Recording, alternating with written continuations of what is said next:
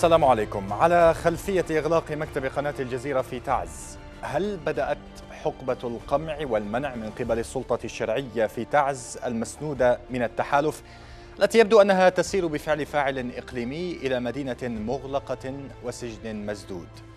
بحسب متابعين ليست اللجنة الأمنية هي من قررت إغلاق مكتب الجزيرة في تعز. التحالف هو من طلب منهم ذلك. اللجنة الأمنية مثلها مثل باقي مكونات الشرعية مسلوبة الفعل والإرادة ولا تملك من أمرها شيئا. أوعزت لها مخابرات التحالف ففعلت ما طلب منها دون ما قيد ولا شرط. وأما تهمة الإغلاق يقولون فجاهزة ومعلبة. الجزيرة تعمل على شق الصف وكأن الصف, وكأن الصف متين ومتلاحم على أحسن ما يكون. بلاغ اللجنة الأمنية العليا قال بأن قرار إغلاق مكتب قناة الجزيرة في تعز جاء كون تغطيتها تنعكس سلبا على مسار معركة الجيش الوطني والشرعية في إنهاء الانقلاب الميليشياوي الحوثي واستعادة الشرعية. بينما اعتبرت نقابة الصحفيين هذا الإجراء لا يختلف عن الإجراءات القمعية التي تتخذها مختلف الأطراف في اليمن تجاه الصحافة والصحفيين. وهنا نتساءل ما خلفية قرار اللجنة الأمنية بإغلاق قناة الجزيرة بتعز؟ وماذا عن الأبعاد الإقليمية لهذا القرار خصوصا أن توقيته جاء بعد تواجد مسؤولين في اللجنة الأمنية بتعز بالعاصمة السعودية الرياض؟ وما الذي تشكل هذه الخطوة على حرية الصحافة والتعبير في اليمن؟ أناقش هذه الأسئلة وغيرها مع ضيفي هنا في الاستوديو الصحفي والناشط الحقوقي الأستاذ محمد الأحمدي. أهلا بك أستاذ محمد. مرحبا بك أخي العزيز والمشاهدين. حياكم الله. إذا مشاهدينا الكرام سنبدأ النقاش في حلقتنا اليوم لكن بعد أن نتابع وإياكم هذا التقرير. قررت القيادة الأمنية والعسكرية إغلاق مكتب الجزيرة في تعز. القيادة الأمنية والعسكرية بإغلاق مكتب الجزيرة. قرار أثار استياء إعلاميا وشعبيا واسعا وخلق أسئلة حول أولوية القيادة الجديدة للمحافظة. حيث صرح المحافظ الجديد أمين أحمد محمود بعيد تعيينه أن أولويته تكمن في استكمال تحرير المحافظة وضبط الأمن داخل مناطقها المحررة. لكن افتتاح جدول أعماله بالتضييق على الحريات الإعلامية أثار علامات استفهام كبيرة حول الدور الذي سيلعبه الرجل. توقيت هذا القرار والذي يأتي غداة عودة قيادة المحافظة العسكرية والأمنية من الرياض حمل أسئلة كثيرة حول مخاطر أن تقوم أبو ظبي والرياض بإقحام اليمن في صراعها الأخير مع قطر. دخول اليمن على خط الأزمة الخليجية الخليجية سوف يكون له آثار سلبية على المستوى السياسي والعسكري وحتى الإعلامي. صحفيون ونشطاء في تعز وغيرها استنكروا هذه الخطوة التي تمس حرية التعبير كقيمة مرتبطة بالحرية. ومنجز ترسخ بشكل أكبر منذ ثورات الربيع العربي. منذ الانقلاب تعرضت الحريات الإعلامية لانتهاكات جسيمة على يد الحوثيين في صنعاء. إعلام المرئي والمسموع والمكتوب قضت عليه ميليشيا الحوثي منذ اجتياحها العاصمة وحولت اليمن إلى بلد الصوت الأوحد في مناطق سيطرتها. حتى الآن تختطف الميليشيا 16 صحفيا منذ أكثر من عامين وترفض دعوات المنظمات الحقوقية والأممية للإفراج عنهم بل وتمنع حتى أمهاتهم وأبنائهم من زيارتهم إلى السجون. بعيد الانقلاب صنفت منظمة مراسلون بلا حدود ميليشيا الحوثي كثاني أخطر جماعة على الصحفيين بعد منظمة داعش على مستوى العالم. وخلال الفترة الماضية دأبت الحكومة الشرعية في المحافظة على مناخ مناسب للحريات الإعلامية في مناطق سيطرتها. غير أن خطوة اليوم في تعز ربما تفتح الباب أمام أزمة حقيقية في البلد تضاف إلى مشكلات الشرعية الكثيرة. إن لم يتم تحييد هذه القضايا عن الصراع السياسي والإقليمي.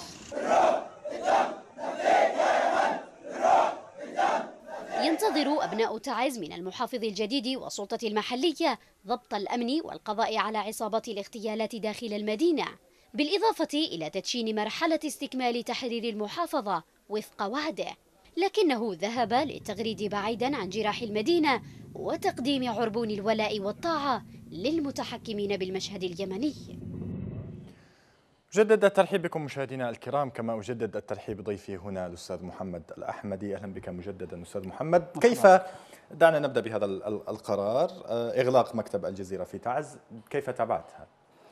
في الحقيقة هو قرار مؤسف ولا ينم عن شعور بالمسؤولية تجاه الحريات الصحفية القوانين المحلية في اليمن والقانون الدولي لحقوق الإنسان يؤكد على أو تؤكد على الحق في حرية التعبير وفي الحق والحق في الحصول على المعلومة وتناقلها وإذاعتها بكافة الوسائل. العهد الدولي للحقوق المدنية والسياسية والإعلان العالمي لحقوق الإنسان هاتين الوثيقتين هاتين الوثيقتان في في في المادة التاسعة عشر منهما تؤكدان على حق الحصول على المعلومة وحق حرية الرأي والتعبير وتناقل المعلومة والحصول عليها وإذاعتها بكافة الوسائل. وبالتالي آه، آه، عندما نتحدث عن إجراء من شأنه المساس بالحرية الصحفية أو حرية الرأي والتعبير فهو قمع بكل ما تعنيه الكلمة ولا يمكن القبول به وبالتالي نسجل آه، بالمناسبة تضامننا مع الزملاء في قناة الجزيرة أو أي وسيلة إعلامية تتعرض للقمع والتنكيل وتكميم الأفواه. بسبب ممارستها لحق آه، الحصول على المعلومة وإذاعتها وبثها. الموضوع الآخر أن إذا كان هناك كما آه، آه، يعني يتم التبرير لهذا الإجراء ممارسات أو سياسات للقناة أو لوسيلة إعلامية ايا كانت مخلة أو مضرة بالمصلحة الوطنية أو ما أشبه ذلك نؤكد أيضا أن آه، الحرية الصحفية، الحرية بشكل عام هي مسؤولية بالدرجة الأساسية، هي مسؤولية أخلاقية وهي أيضا مسؤولية قانونية.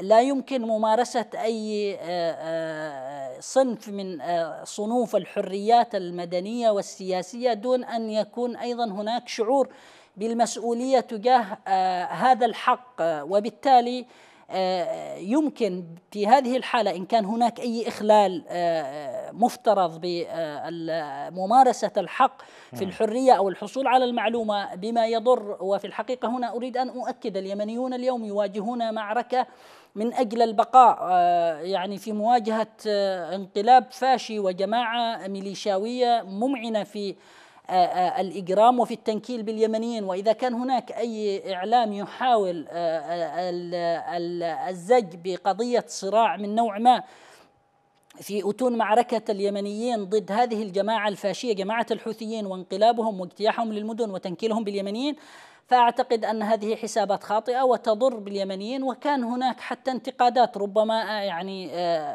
أنا شخصيا مثلا أو غيري من الزملاء من الصحفيين أو الحقوقيين لديه ملاحظات على أداء آه، آه، قناة الجزيرة في الآونة الأخيرة أو آه، بعض التقارير أو بعض ال ال ال ال يعني التناولات الإعلامية أو الصحفية. لكن هذا لا يعني قطعا الدعوة إلى القمع وتكميم وإغلاق مكتب طيب، الجزيرة أو غيره. من قام بهذا القرار هو أو هذا الفعل قرار الإغلاق هو اللجنة الأمنية. هل يعني وفقا لما هو موجود هل لديها الصلاحية لفعل ذلك؟ آه، في الحقيقة آه، يعني أولا ليس لدى اللجنة الأمنية العليا. أولا يجب أن نتساءل إن كان هذا القرار بالفعل هو قرار وطني بامتياز يعني محلي أو أنه مح أو أنه آه، آه، إجباري أو فرض من خارج اليمن أو خارج الإرادة الشعبية. هنا الخطورة في الحقيقة ينظر إلى مثل هذه القرارات إلى بالتالي آه، يعني وتحديدا قرار إغلاق مكتب الجزيرة بأنه ليس ناتج عن إرادة شعبية في بدرجة أساسية ولكنه يعني جزء من محاولة فرض ارادات خارج المشروع الوطني بما ينسجم مع حسابات بعض الأطراف الإقليمية وصراعات والأزمة الخليجية الخليجية آه، وبالتالي لأنه لو كان بالفعل هذا القرار ناتج عن آه، مصلحة وطنية أو عن دراسة آه، وفق معطيات أو وفق حاجة وطنية محلية بحتة أنه كان هناك أيضا بعض الأصوات وبعض وسائل الإعلام التي تمارس التحريض ضد الحكومة الشرعية بشكل واضح. وعلني هناك مواقع إلكترونية وهناك وسائل إعلام وهناك آه، إعلاميون آه، يمارسون آه، يعني التحريض الدائم ضد الحكومة الشرعية وضد الجيش الوطني وضد بعض أطراف أو قوى سياسية ضمن يعني مظلة الشرعية اليمنية. وهناك أيضا أطراف تحرض حتى أيضا ضد يعني آه، المشروع الوطني آه، فبالتالي لماذا فقط الانتقائية في اختيار مكتب يعني الجزيرة أن تتساءل عن المعايير أم أن يعني تتحدث نعم عن ضرورة عن تعامل هؤلاء أيضا بمثل ما حدث؟ لا لا لا لا أدعو إلى أي تكميم لأفواه ولكن أتساءل فعلا يعني إن كان هذا القرار ناجم أو ناتج عن آه، ضرورة وطنية آه، اقتضتها آه، الظروف وطنية أو أنه فقط جزء من سياسة خارجية تهدف إلى فرض وصاية على اليمنيين وما الذي يجب أن يفعلوه أو مقايضة على حاجة اليمنيين للتخلص من الانقلاب مقابل يعني تقديم خدمات لمصلحة طرف ما في الإقليم يخوض حربا أو صراعا مع طرف آخر داخل المحيط الخليجي. طيب يعني هو بما لدينا الآن هو حديث اللجنة الأمنية والتصريحات التي نشرت عنها.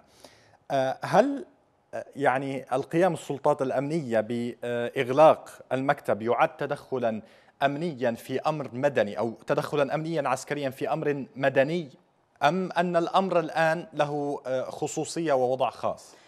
يعني في الحقيقة دائما أخي العزيز آه، بعض يعني الحديث عن تحميل اولا آه، وسائل إعلام آه، الإخفاقات التي آه، يمر بها بلد ما هو آه، سلوك درجت عليه الدكتاتوريات وجماعات العنف ولا يمكن أن يكون هذا السلوك هو سلوك دولة تحاول يعني تطبيع الوضع قائم أو تقديم آه، نموذج مثالي لي آه، أو على الأقل مقبول في آه، في حالة حرب. يعني نحن الآن فعلا اليمنيون في حالة حرب كما أشرت في حديثي قبل قليل وبالتالي ولديهم يعني مشروع نضال وطني مهم وهم يواجهون أسوأ أشكال الانقلاب وأسوأ أشكال جماعات العنف.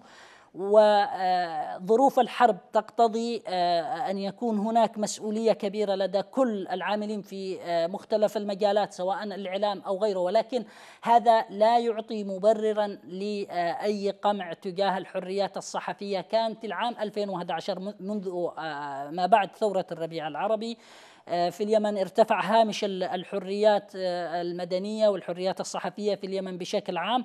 وبالتالي آه، كان هناك أحيانا استغلال لهذا المناخ في محاولة آه، التحريض أو الدعوة إلى العنف وكنا نطالب آه، بوضوح أنه يجب حماية أي مكاسب في سياق الحريات المدنية والحريات الصحفية، لكن مع ضرورة أيضا وضع الضوابط أخلاقية ومعايير لهذا يعني وبالتالي تعزز المسؤولية في ممارسة هذا الحق.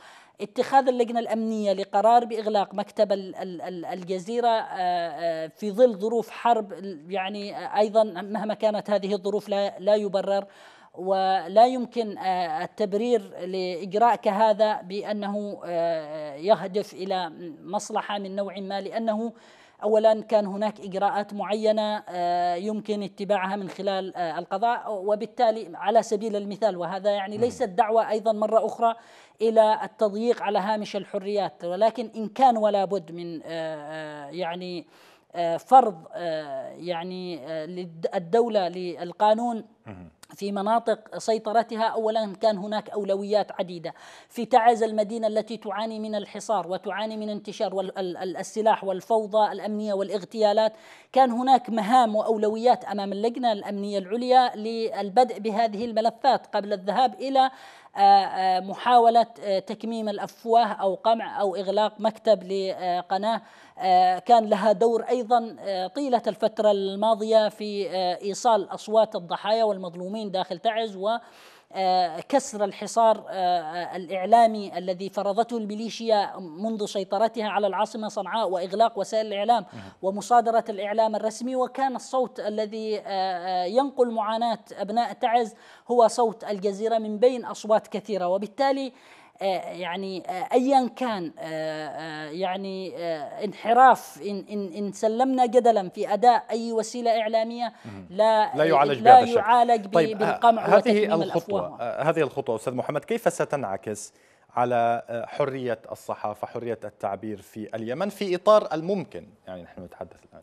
من المؤسف أخي العزيز وهنا من المفارقات أن يكون تدشين آه، عمل المحافظ الجديد بإغلاق مكتب قناة آه، كالجزيرة في تعز أولا. هذه نقطة مهمة. وبالتالي تدشين الفترة أم أنه هو من آه، أصدر هذا القرار؟ بصرف النظر كان هو من أصدره لكن هو يتحمل مسؤولية الآن باعتبار أنه أصبح المسؤول الأول وهو يعتبر رئيس اللجنة الأمنية العليا في المحافظة. وبالتالي أن يبدأ آه، آه، يعني عمله في تعز بإغلاق مكتب الجزيرة أيا كانت المبررات فهذه آه، ليست علامة خير في الحقيقة خصوصا وأنه يعيش في يعني واحدة من أكثر الدول يعني في كندا كما قيل وهي من أكثر دول العالم احتراما للحريات الصحفية أما طيب. نعم دعنا نشرك معنا في الحوار الآن أستاذ محمد سيادة العقيد عبد الباسط البحر عضو اللجنة الأمنية العليا بتعز ونائب المتحدث باسم الجيش هناك أهلا بك سيادة العقيد حياكم الله واهلا بكم وبالسادة المشاهدين جميعا. حياك الله، اذا دعنا نبدأ بالدوافع التي يعني تسببت بقرار اللجنة الأمنية العليا إغلاق مكتب قناة الجزيرة بتعز، حدثنا.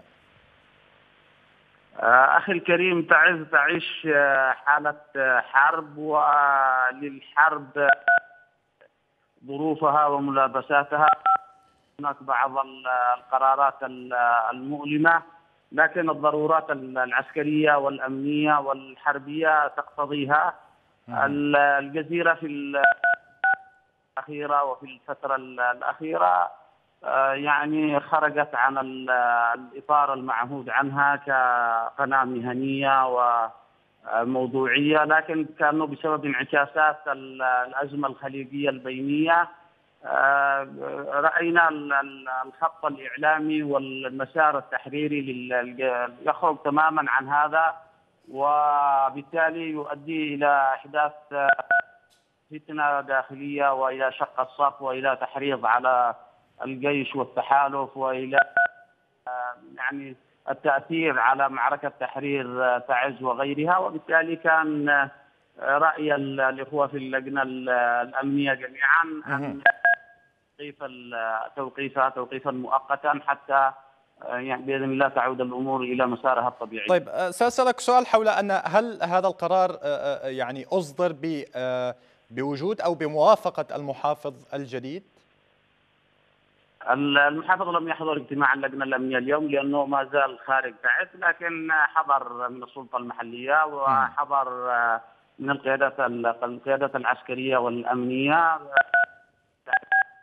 نعم. المحافظ ما زال خارج المحافظة طيب آه آه الآن يعني عندما نتحدث على أن الحرب ظروفها وملابساتها وأن هناك نوع من الخروج آه لهذه الوسيلة الإعلامية عن النص في إطار المعهود ما الذي أنتم في تعز آه، آه، يعني كانت ما هي الملابسات التي دفعتكم أو شاهدتموها لإصدار هذا القرار؟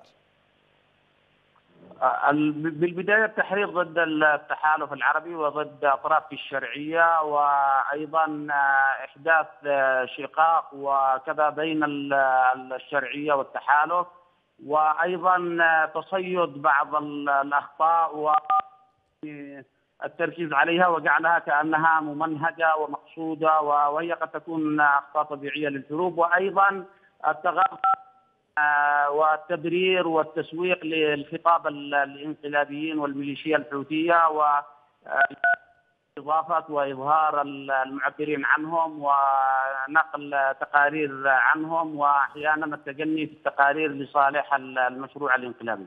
طيب أرجو أن تتفضل بالبقاء معنا. سيادة العقيد ينضم إلينا الآن مشاهدينا الكرام الأستاذ سعيد ثابت مدير مكتب الجزيرة في اليمن. أهلا بك أستاذ سعيد. أهلا وسهلا فيك. حياكم الله. إذا سمعت ما تفضل به سيادة العقيد. هناك هذا القرار بإغلاق المكتب في تعز. ما هو موقف الجزيرة الرسمي أستاذ سعيد؟ اولا نحن نعبر عن أسفنا لهذا الإجراء ونعتبره آه، اسلوبا قمعيا من مخلفات العهود الشمولية السابقة ولا آه، يعبر عن مصالح الشعب اليمني ربما يعبر عن مصالح اتجاهات أخرى خارج الحدود اليمنية. أنا يؤسفني جدا جدا أن أسمع من الأخ العقيد هذه السلسلة من الاتهامات الباطلة وهو يعرف قبل غيره أن الجزيرة كانت هي الصوت الأول المعبر عن خط الشرعية بل هي من التي أسهمت في إجهاض الانقلاب. وعلى الرئيس الشرعي عبد الرب منصور في صنعاء عندما كان محاصرا وعندما كانت الميليشيات الحوثية والعفاشيه تحاصر صنعاء كانت الجزيرة هي التي تغطي كل هذا الأمر. الجزيرة أيضا عندما انقطع الأكسجين كانت هي معبرة عن معاناة الناس في تعز. أيضا عن الأخطاء والجرائم والمجازر التي وقعت في تعز. من قبل الميليشيات الانقلابية كانت الجزيرة هي الحاضرة الأولى يوم كانت بقية القنوات تطبل للانقلابيين منذ وقت مبكر. آه، آه، آه، الذي هي سلطت عن معاناة الناس وأيضا واكبت عملية تحرير تعز الجهة الغربية لم يكن للجزيرة صوت غير صوت الجماهير. العجيب أنه يريد منا الإخوة في اللجنة الأمنية أن نكون بوقا لطرف على طرف. نحن قناة مهنية نتعامل مع الأحداث بمهنية وعلى خطوط واحدة لكن في إطار في إطار الحقائق الموجودة. الأمر الثاني يعني هذه الاتهامات باطلة وغير صحيحة وأن يأتي آه، جرائم ترتكب بحق اليمين لا يمكن الجزيرة أن تغض الطرف عنها سواء كان من قبل التحالف أو من قبل الانقلابيين الحوثيين. نحن نعتبر أننا نعمل في إطار حرية التعبير والصحافة وأي أسلوب لتجيير موقف الجزيرة لطرف ضد طرف غير مقبول لأننا لسنا بوقا لأحد في هذا الأمر.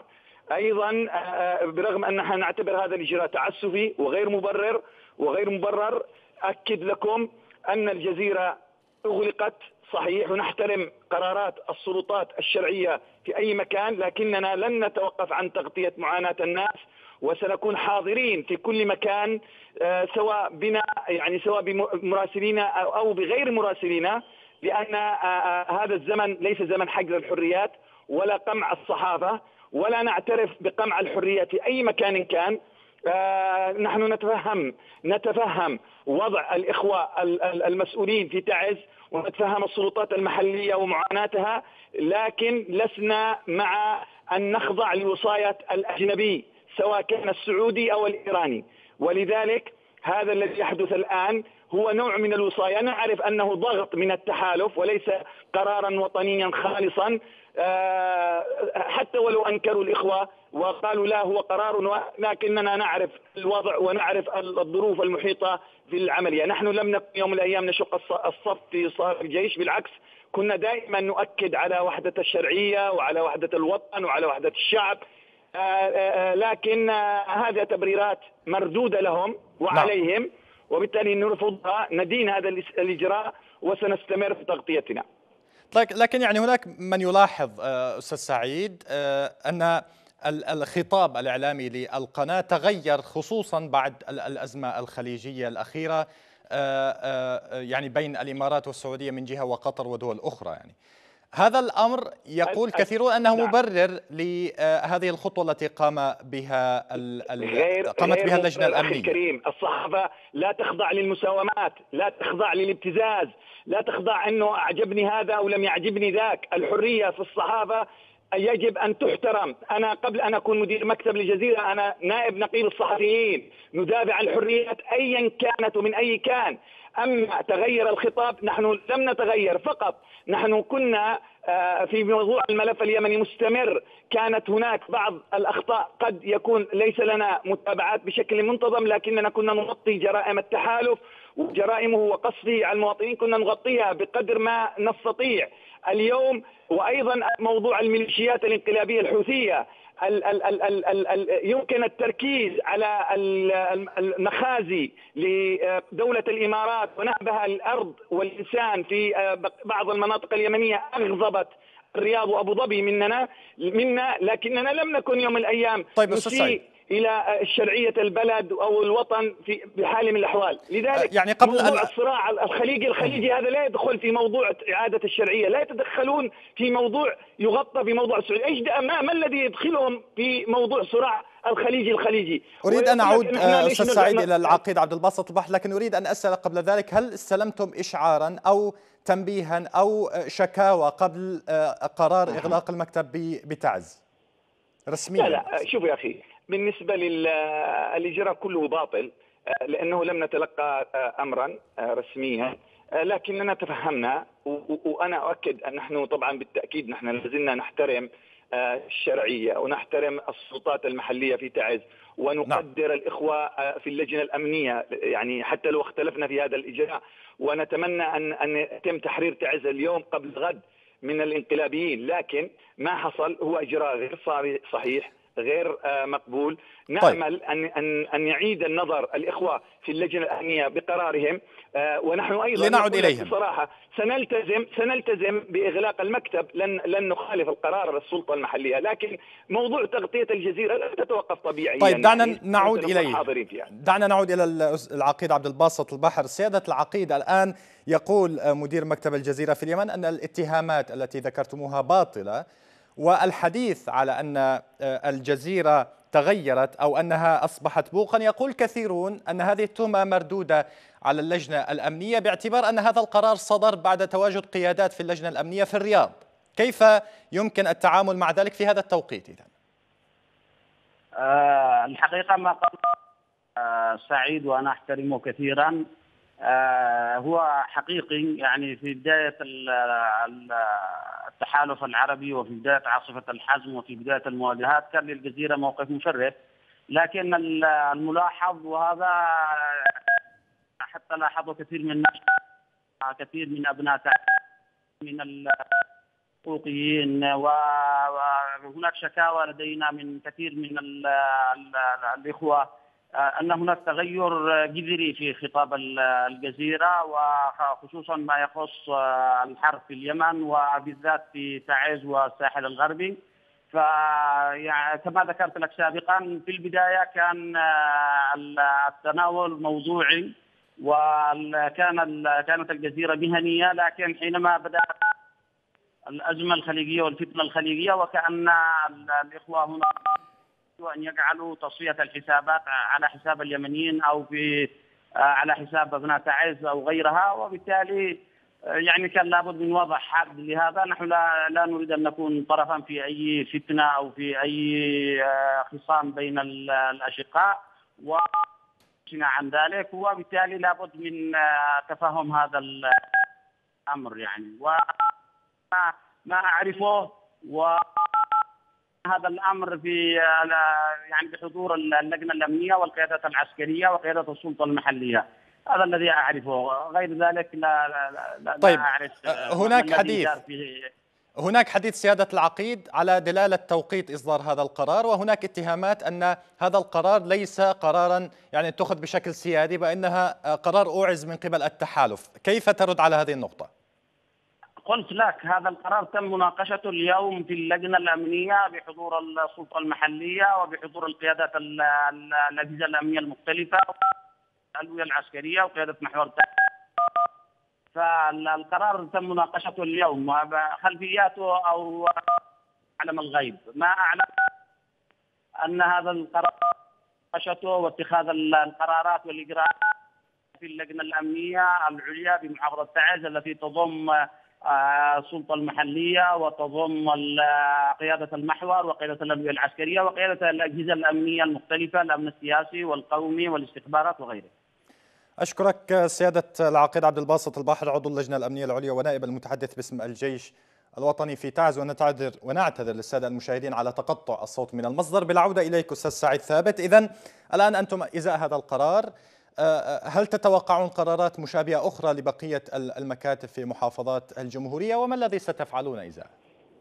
يعني شوف أخي الكريم نحن آه، يعني واقعيا نحن مطردين من الحرية سواء كانت في صنعاء أو في عدن أو في تعز للأسف مؤخرا. يعني أنت تعلم أن تعز تم تشويهها إعلاميا من قبل بعض إعلام دول التحالف. يوم ما كانت تصور على أن فيها دواعش وفيها إرهابيين وساهم هذا الإعلام في في في تشويه تعز كانت الجزيرة هي المافذة الوحيدة التي تقدم تعز صورتها الحقيقية الصورة الحضارية المدنية رغم هذا آه، للأسف كوفئت الجزيرة من إخواننا في الإدارة أو اللجنة الأمنية بهذا الموقف. الثاني نحن نتكلم ليس فقط دفاعا عن الجزيرة، نحن ندافع عن قيمة اسمها حرية الصحافه، وحق الإنسان في الحصول على المعلومة. آه، عندما ندافع عن هذا الأمر نؤكد على أن ليس بهذه الطريقة يتم معالجة إذا كان هناك أخطاء لا تعالج بإغلاق المكاتب لأن اليوم هذا زمن الرقمي الإعلام الرقمي الإعلام آه، يمكن أن تصل معلومة سواء بالفضاء الفضاء يعني مفتوح كل الناس. هم الآن ارتكبوا خطأ بأنهم دخلوا في دوامة مش بإرادتهم. أنا قلت لك نحن نتفهم نعم. وضع الاخوه في الشرعية وفي الحكومة ونقدرهم ونقدر ظرفهم. هم يعني موجودين في الرياض ووضعهم حرج ونتفهم ذلك. لكن لا نسمح أيضا أن تشوه الجزيرة ولا نقبل ان ان أن يفترى عليها. لذلك نعتبر هذه الإجراءات كلها مدانة وغير مقبولة، نحن آه، أشكر. آه، آه، يعني نقابة الصحفيين اليوم اصدرت بيان، غدا الاتحاد الدولي سيصدر بيان وموقف قوي، المنظمات الدولية غدا تحتشد لإصدار بيانات ضمن كتلة كبيرة عالميا، هذا الموقف أساء إلى تعز وأساء إلى الوجه الحضاري لهذه المدينة التي احتضنت الصحافة والأحزاب والتعددية والألوان المختلفه. نحن أشكرك. سنستمر نؤكد أننا سنستمر بتغطيتنا للشأن اليمني بمهنيه وبتوازن وبموضوعية وعلى ونقف على مسافة واحدة لأننا لسنا طرف. ما عدا ما عدا أننا نحن الطرف مع الإنسان ايا كان.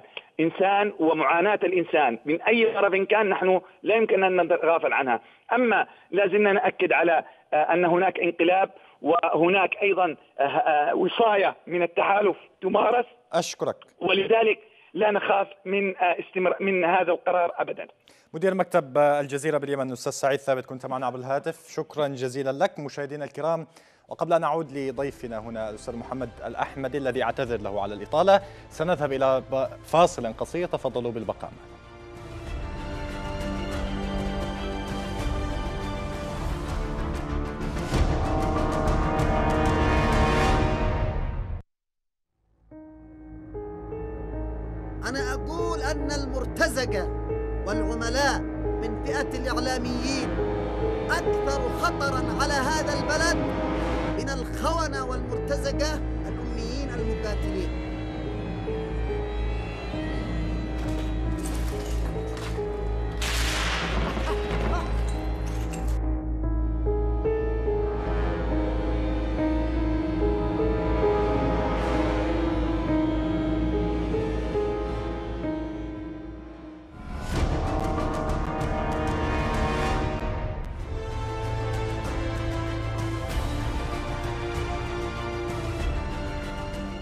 أجدد الترحيب بكم مشاهدينا الكرام كما أجدد الترحيب بضيفي هنا الأستاذ محمد الأحمدي. أرجو المعذرة مجددا على الإطالة. أستاذ محمد إذا آه، سمعت ما تفضل به آه، آه، العقيد عبد الباسط البحر وكذلك أستاذ سعيد ثابت. ما هو التعليق؟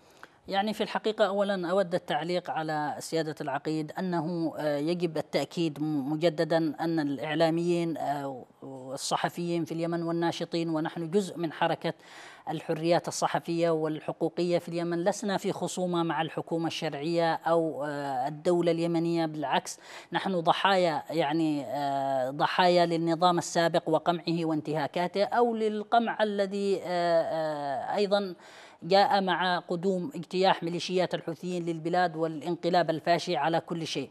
وبالتالي آه، لا يمكن آه، وأرجو أن آه، الا تكون الحكومة الشرعية والدولة القادمة لليمنيين إلا طوق نجاه لليمنيين كلهم. وألا تقبل المساومة على حقوق اليمنيين أو أي شيء يمس بحقوق وكرامة الإنسان اليمني، الحريات الصحفية في اليمن مكسب، الحريات اليمن لها خصوصية معينة ولا يمكن أن تكون نسخة أخرى آه، سواء اليمن المنتظر الذي يناضل من أجله اليمنيون والتضحيات التي يقدمون من أجلها هو نسخة من الواقع البئيس لميليشيات الحوثيين في مناطق سيطرتهم من قمع الحريات وعسكره كل مظاهر الحياة، لا يمكن أن يكون اليمن القادم المنتظر بهذا الشكل. كما لا يمكن أن يكون اليمن القادم أيضا نسخة مكررة أو آه، آه، لأي دولة أخرى في المحيط الخليجي. اليمن آه، بلد تعددي وعرف الديمقراطية على الأقل بالحد الأدنى ويعرف التعددية وهذه مكاسب للمجتمع اليمني ولا يمكن التفريط فيها أو التنازل عنها. الحريات الصحفية في اليمن هي مكسب لليمنيين وعلى الأشقاء في الخليج آه، السعودية والإمارات مع تقديرنا مواقفهم في مناصرة اليمنيين ضد الانقلاب وضد المشروع الإيراني في اليمن لكن ألا يكون ثمن هذه المناصرة هو سحق حقوق اليمنيين أو أي قيمة سياسية ضحى من أجلها طيب، اليمنيون. طيب في هذا السياق يعني الآن الحديث كان على أن الجزيرة قامت بالتحريض على التحالف وأحدثت شقا بين الشرعية والتحالف تعمل على ذلك كما يقول ذلك سيادة العقيد. لكن بالمقابل الأستاذ سعيد ثابت قال أن هذا القرار لم يكن قرارا لدى اللجنة الأمنية.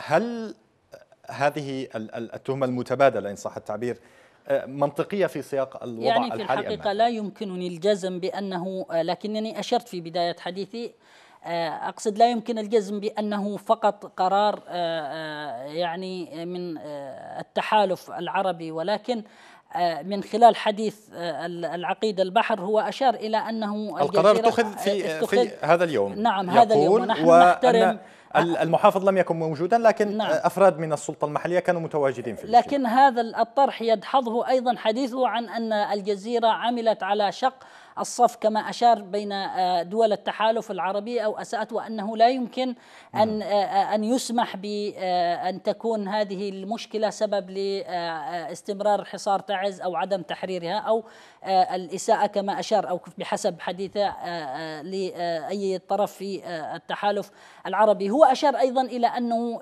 واحدة من الإشكاليات أن الجزيرة نقلت بعض أخطاء التحالف وفي الحقيقة إن كان استهداف المدنيين وجرائم استهداف المدنيين سواء بالتحالف بالطيران بغرض التحالف أو غيرها مشكلة فأعتقد أن المشكلة فقط هو من ينظر إلى هذه الممارسة أو هذا الحق في نقل المعلومة وفي الوقوف إلى جانب الضحايا بأنه مشكلة يجب على الجميع أن يحترم حقوق الإنسان اليمني الإنسان اليوم اليمني يتعرض لحملة تنكيل مروعة من قبل ميليشيا الانقلاب فلا يمكن أن يكون الذين جاءوا لانقاذه أيضا هم الوجه الآخر وهم الجحيم الذي ينتظر اليمنيين. يعني بمعنى لا يمكن أن يكون ممارسة حق نقل المعلومة سواء إخطاء التحالف أو استهداف المدنيين سببا لاغلاق مكتب قناة الجزيرة طيب. أو غيره دعنا نشرك معنا في الحوار أستاذ محمد. الصحفي الأستاذ غمدان اليوسفي الذي ينضم لنا عبر الهاتف من هولندا. أهلا بك أستاذ غمدان.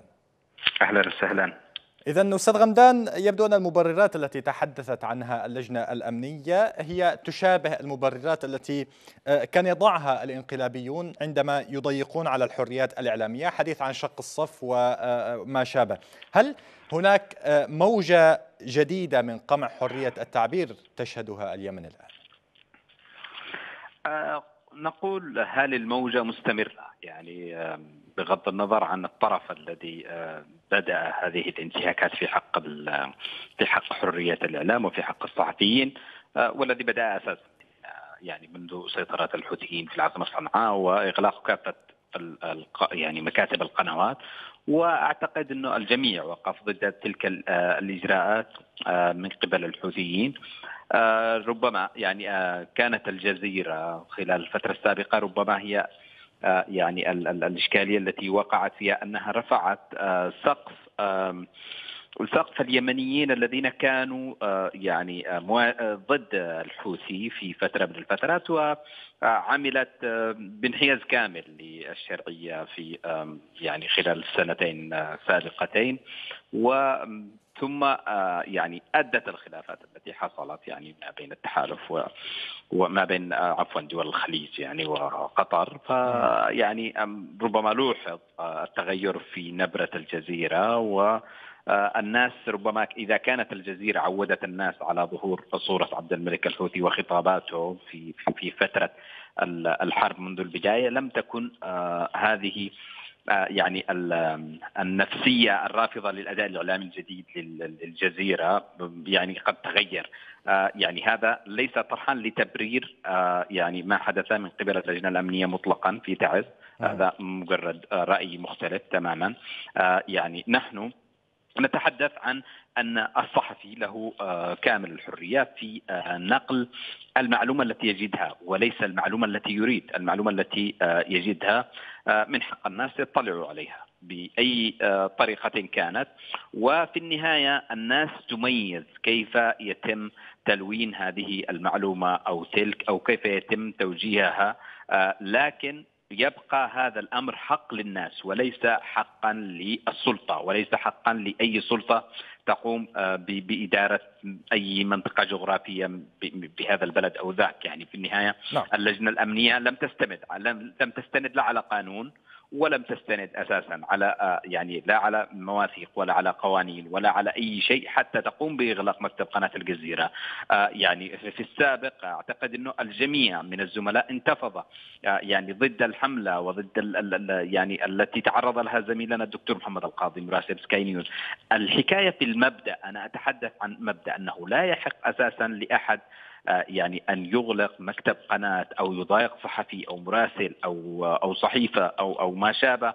دون أن يعني الرجوع إلى مسألة القضاء إذا كان هنالك قضاء. يعني في النهاية آه، ربما يعني على مضض نقبل القضاء. نقبل القضاء بأن يكون هو ال ال ال يعني من من يوجه ب يعني باستدعاء شخص آه، صحفي. يعني في النهاية الصحفي أيضا ليس محميا آه، لكن هناك قانون يحكم يعني هذه الحماية وهذه الحرية. يعني طيب أستاذ نعم.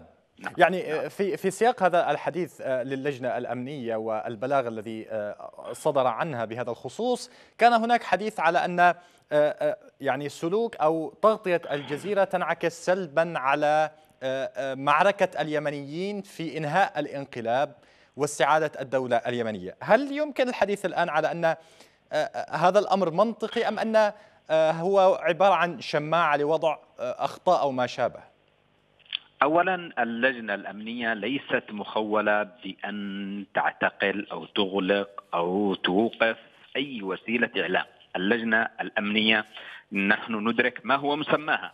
يكفي أن نسمع بهذا المسمى الذي هو اللجنة الأمنية ثم نضحك من الإجراء الذي آه الذي حدث على قناة آه الجزيرة. ف أعتقد إنه هناك سلطة محلية، هناك مكتب إعلام في المدينة، هناك يعني محاكم يعني تم تفعيلها هناك سلطة محلية هناك محافظ محافظة هناك وكلاء هناك يعني هل هؤلاء كلهم غابوا عن المشهد وبقيت فقط يعني اللجنة الأمنية؟ اللجنة الأمنية ليست مخولة بإغلاق مكتب صحيفة. اللجنة الأمنية مخولة بأن تلقي القبض على على على على قاتل الشميري أو على قاتل فلان أو على قاتل فلان من الناس.